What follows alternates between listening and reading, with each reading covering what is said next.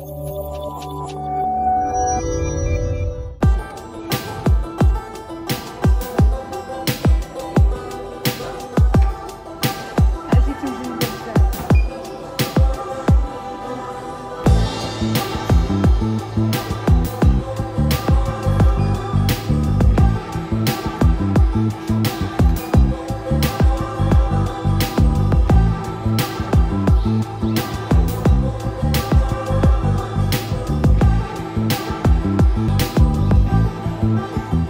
حاجة تحيه كبيرة متابعين قناة طنجاوي وكنقول لهم رمضان مبارك سعيد.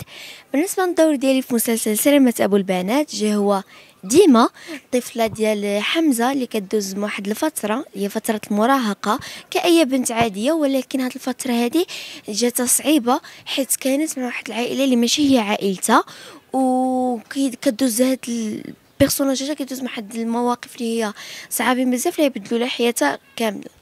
بالنسبة لكواليس الصور صراحة كانوا هما كواليس مزيونة. نسيما إنك تخدم مع المخرج هشام جباري. أي واحد كيجي فرحان بلاطو بواحد النشاط اللي هو كلشي كيجي actif من بلاطو حيت واحد الأجواء كيكونوا واعرين بزاف. المواقف صراحة كاين بزاف ديال المواقف اللي دوزناهم مزيونين مع بلاطو. ملي كتمشي تصور ملي كيكون عندك فان tournage vraiment ما كتسخاش إنك تنبعد مع واحد كتكون engagée déjà وموراها ملي كتبعد كيبقى فيك شوية الحال. آه vraiment كنا بحال واحد العائلة يعني بحال اللي كتشوفونا في التلفازة هذا كانت العلاقة ديالنا في الحقيقة. فخليكم متابعين حيت vraiment ديما غتعملوا بزاف ديال المفاجآت في ديك الدار. كيف ما شفتوا في الحلقة ديال البارح كانت جات الأم ديالها باش أنها تزورها و vraiment يعني ماشي غير هادشي غتعملوا بزاف ديال المشاكل في الدار وغتنوض لهم الروينة. يعني باقي سلامة أبو البنات واحد المسلسل اللي الوطن العربي كامل كيتفرجوا. لينا الإعجاب بزاف ديال الناس وأنا بيدي كنت كنتفرج له وكان كيعجبني. ملي جاتني ال proposition باش انني نشارك فيه vraiment كنت فرحانة بزاف وغير نشطان وديك الشيء حيت الناس باقي ما عرفوش يعني الشخصيه الحقيقية ديالي واش أنا كنكون ظريفة واش عصبية. يعني ديك الدور هذاك اللي هو كيتسمى دور آه، مركب. يعني ماشي بس ماشي يعني الناس باقي عمرهم ما شافوني فيه فكتعتبر أول مرة غنمثل ديك الدور الناس عاد يتعرفوا عليا في personnage اللي هي قبيحة وكذلك في يعني في بزاف ديال les caractéristiques كانت كتعملوا ديك الشخصية لاول مرة يعني الجمهور المغربي غيقدر ان يشوفوا فيه فبالنسبة للموضوع اللي عالجته في مسلسل سلامة أبو البنات هو نقدر نقول استغلال الأطفال. بغيت كنوجه واحد الرساله لجميع المراهقات جميع البنات اللي كاينين حاليا البنيتات الصغار أنهم ما يثقوش في شي واحد ما كيعرفوهش وزعما غير يجيو يهضروا معاه. فكيف ما كنا شفنا ديما كانت تعرضت كانت كتهضر مع واحد الشخص اللي هو أصلا كبير عليها وبقى الموضوع مفتوح ما عرفناش واش هو. مثلا بغى بغى يستغل ديك الطفلة ولا بغى يسرق الدار ولا بقى الموضوع مفتوح. فهاد الموضوع هذا هو اللي طرق له سلامه مسلسل سلامة أبو البنات اللي هو واحد اللي هو المخاطر ديال les réseaux sociaux. صراحة أي طفله خصها تركز مزيان مع هاد هاد هادشي هذا اللي كيوقع حاليا وحتى الآباء.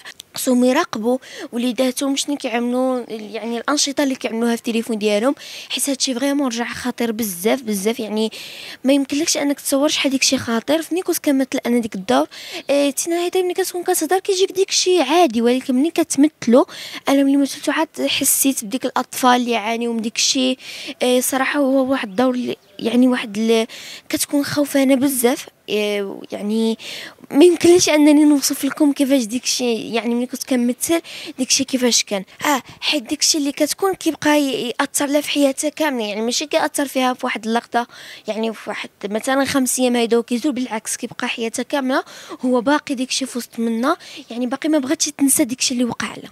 وكنبغي نشكر بزاف المخرج هشام جباري حيت تطرق لهذا هذا الموضوع هذا في مسلسل سلامة أبو البنات. وباقي مواضيع أخرى اللي غيتعالجوا في هذا المسلسل هذا اللي هما مواضيع يعني اللي أي واحد أي واحد خصو يرد البال منه. فأنا حاولت maximum possible أنني نوصل للناس الشعور ديال ديك البنيته الصغار. فريمون هذيك اللقطة كانت واحد اللقطة اللي هي مؤثرة بزاف.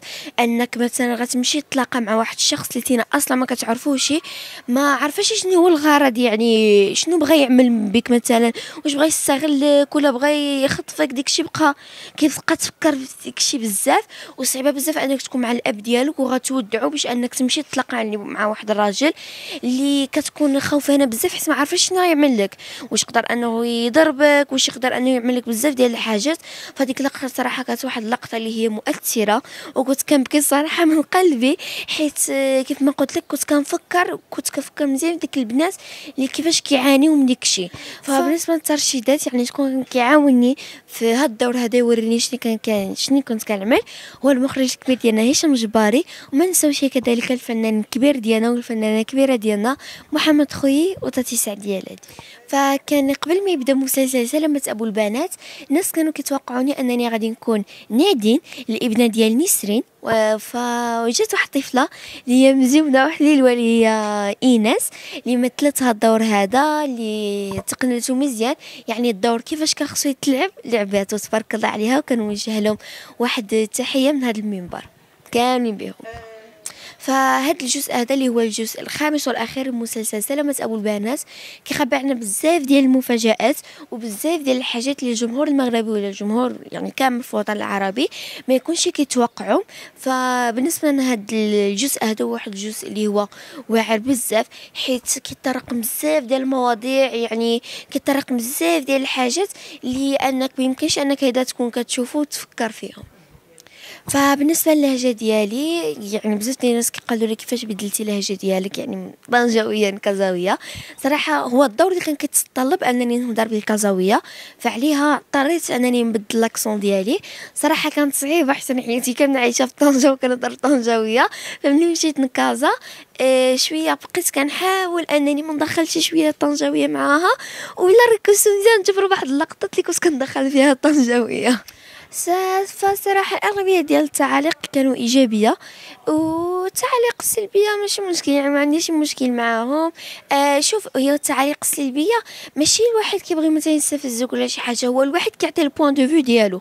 يعني ديك التعاليق السلبية أنا بيدي كنحترم ديك الناس اللي سردوا آه ديك التعاليق يعني حس كيعطيو الرأي ديالهم فكنحترم رأيهم.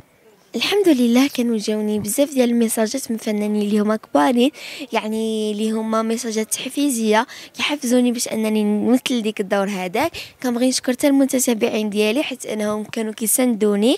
وما نساوش كذلك العائلة ديالي اللي حتى هي كانت واحد السند كبير ليلي تما ماما وبابا اللي كانوا دائما كيحفزوني باش أنني نزيد نعطي ونعطي يعني كثر من جهدي في ديك الدور. فهاد السؤال هذا كان تطرح عليا بزاف هو أنني كيفاش كنعمل نوازي ما بين الدراسة ديالي وما بين الهواية ديالي اللي هي التمثيل. فكنبغي نوصل واحد رسالة شكر للمؤسسة ديالي مؤسسة طونجيرين حيت هما اللي كيعاونوني آه كيعاودوا لي الدروس ديالي باش أنني كنفهمهم. وصراحة ماشي سهلة ماشي سهلة باش أنك تكون كتمثل وكذلك باش أنك يعني تمشي وتقرا فكنت كنمثل وكنرجع عاوتاني لطنجة باش أنني ندوز الامتحانات ديالي ونرجع عاوتاني لكازا باش أنني نكمل تمثيل. وماما كانت عامله لي أساتذة ديالي تما في كازا اللي كانوا كيجيو عندي وكيعنوا لي سوايع باش أنهم يفهموني الدروس ديالي وكلشي. فبالنسبة للإقامة الذهبية أنا فخورة باش أنني يعني نديها. أه نسيما أنني نتاخدها في واحد الدولة اللي هي عظيمة في حال دولة الإمارات العربية المتحدة. أه فخورة بها بزاف. نسيما كأنني أول طفلة ممثلة أه كناخد الإقامة الذهبية فكيحصل لي الشرف أنها تكون عندي الإقامة. إيه لا صراحة ما كنفكرش حيت هو مثلا ملي كتكون مثلا شي موطع كتقول آه غيعجبني الحال تما ولكن صراحة ما كاينش بحال المغرب ملي كتمشي تما إيه كتفرح وكتنشط ولكن ماشي بحال ملي كتكون في بلادك. آه أنا ملي كنمشي كنبقى نتسنى كنمشي وكنفرح ولكن عاوتاني كندوز هيدا شي خمس أيام ولا أكثر كنبقى نتوحش المغرب خصني فوقاش نرجع. حيت آه ملي كتكون في بلادك ماشي بحال ملي كتكون في شي بلاد أخرى. وواحد الحاجة اللي ما عارفينهاش الناس أنه كان تعرض عليه واحد الفيلم اللي كان يتعرض في نتفليكس في تركيا وكنت دوزت ال casting باللغة التركية كامل هدرت فيه في تركيا وكنا غنطلعوا من تركيا باش أننا صافي كنا غنصوروا ولكن صح جاني متوازي مع سلامة أبو البنات ففضلت سلامة أنني يعني نتشهر في بلادي عاد من موراها نمشي نتشهر في شي دولة أخرى. وتحية كبيرة ليك. كنبغي نشكرك بزاف تاتي إنصاف على هذا الروبورتاج هذا. كنبغي نشكركم نتوما لأنكم كملتوا هذا الحوار من الأول حتى الآخر. وكنبغي نقول لكم رمضان مبارك سعيد. bye bye. تابعونا على مواقع التواصل الاجتماعي ليصلكم كل جديد.